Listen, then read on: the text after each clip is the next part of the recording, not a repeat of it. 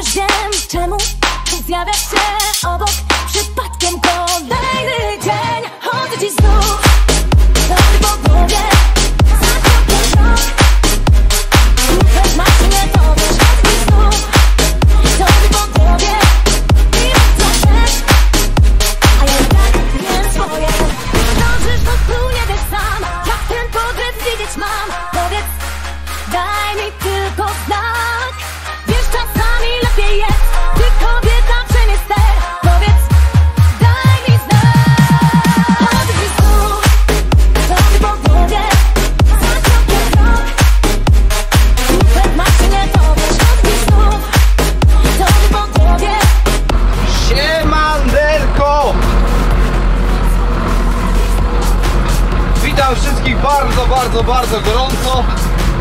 bardzo, bardzo, bardzo serdecznie. Dzisiaj śmierdząca robota na gospodarstwie, mianowicie wywozimy obornik akurat teraz pod yy, ziemniaki i pod marchew. Ziemniaki i marchew dzisiaj, znaczy teraz, a tak w ogóle jeszcze dzisiaj to jeszcze na inne pola będziemy jeździć. Ale póki co tak jak mówię, ziemniaki i marchew. Cały rozrzutnik zapakowany. E, to jest krowi. E, to jest krowi obornik. I tak on się tutaj prezentuje. Troszeczkę musiałem, aha, właśnie, co miałem zrobić? Kurczę, miałem to wcześniej zrobić, a o tym zapomniałem. A chodzi mi tutaj o naoliwienie łańcucha. Zapomniałem o naliwieniu, na, naliwieniu, na oliwieniu łańcucha, ale to nic. Trochę tam szurnę. Tym smarem jak się włączy, to się wszystko, może tak polecimy, to się wszystko przesmaruje. Cyk, cyk, cyk, bo kto nie smaruje, ten nie jedzie. Jak dobrze wiecie, nie? O, pyk, pyk, pyk, pyk, pyk. Smaru nie będziemy szczędzić. Elegancko. E, jedyną kwest, jedyna kwestia jest taka, że zapomnieliśmy o poprzecinaniu, poprzecinaniu, poprzecinaniu tych sznurków wszystkich. No ale cóż, no jest, są, takie, są takie tematy, które yy, na które przychodzi czas, no i akurat dzisiaj przyszedł czas na obornik i tak jesteśmy w plecy trochę. Z tym obornikiem jesteśmy troszeczkę do tyłu czasowo, tak więc yy, już nie było czasu, żeby się grzebać dzisiaj jeszcze z tymi sznurkami.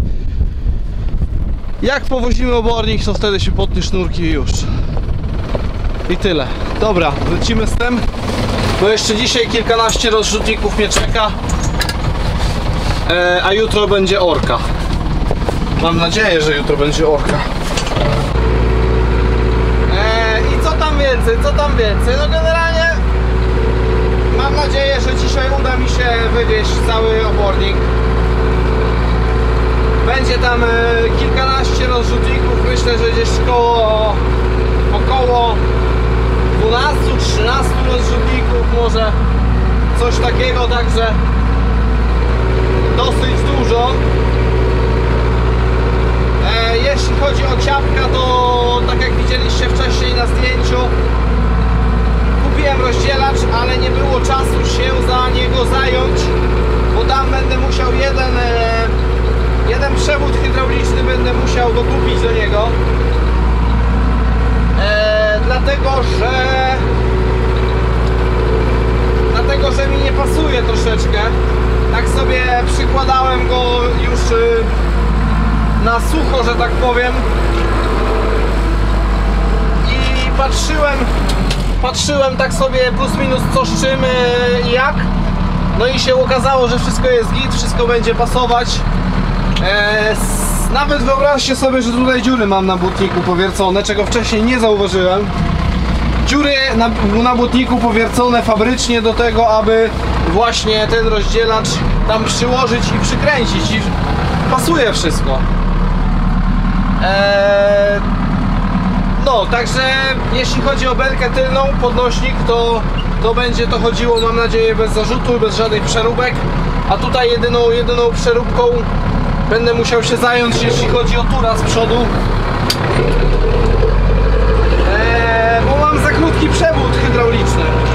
Muszę ten przewód od rozdzielacza aż do tam, do tej belki na dole, tam gdzie, gdzie jest umiejscowiona kolumna z siłownikiem, to tam mam trójnik założony i aż od rozdzielacza będę musiał pociągnąć przewód do tego trójnika właśnie e, pod tym słupkiem, nie?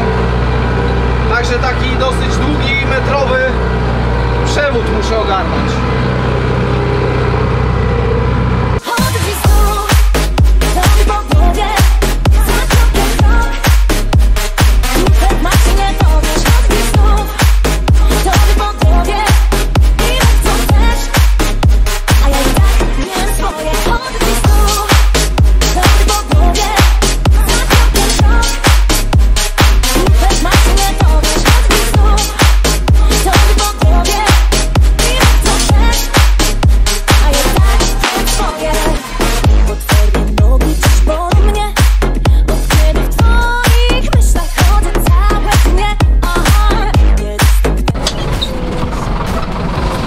Tutaj troszeczkę w tamtym roku nam drogę robili. Znaczy nie tak troszeczkę, bo dwie, dwie nowe warstwy.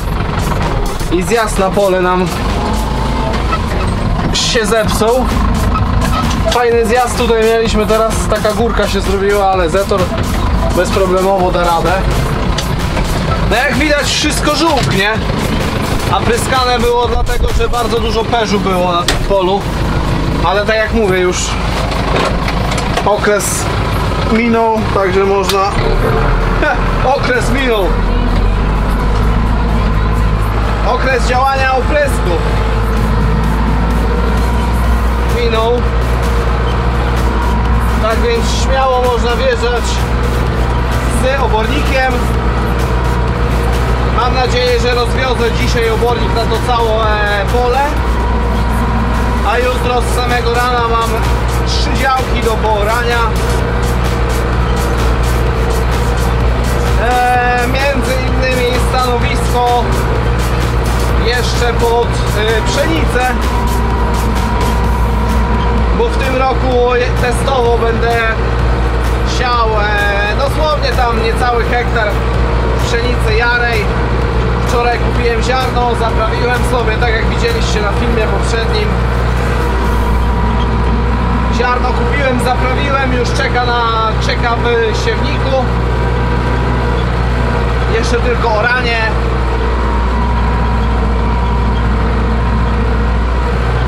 No i cóż, no i będzie, będę siał w tym roku.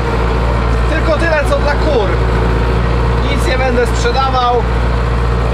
Po prostu testowo zobaczymy co z tego wyjdzie. Generalnie żadnego zboża z naszego gospodarstwa się nie sprzedaje. Wszystko idzie na spasienie, tak naprawdę. Nie pamiętam, żebyśmy kiedykolwiek sprzedawali zboże, serio. Wszystko się wykorzystuje. Szczęśliwa siódemka, mianowicie siódmy rozrzutnik ląduje na polu. Eee, no i tak można powiedzieć, że no już połowę pola mam, także to już będzie ten rozrzutnik jak rozrzucę to już będzie poza połową. No i wydaje mi się, że starczy obornika spokojnie na ten e, odcinek, na tą działkę. Ja oczywiście nie żałuję, zobaczcie też tego obornika, staram się wypełniać rozrzutnik tak jak się należy. E, zaczął kropić deszczyk, ale generalnie niczym mi to nie przeszkadza. Trochę zimno jest ładować, bo jednak ciapek nie ma kabiny i troszeczkę wieje deszczem.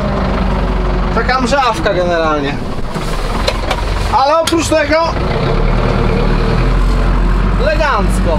Myślę, że uda mi się tą działkę dzisiaj ogarnąć, tak żeby jutro z samego rańca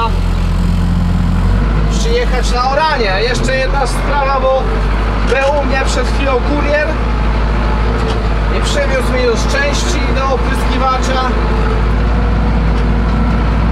Także wszystkie podzespoły będą wymienione. W tamtym roku pompa i sekcje.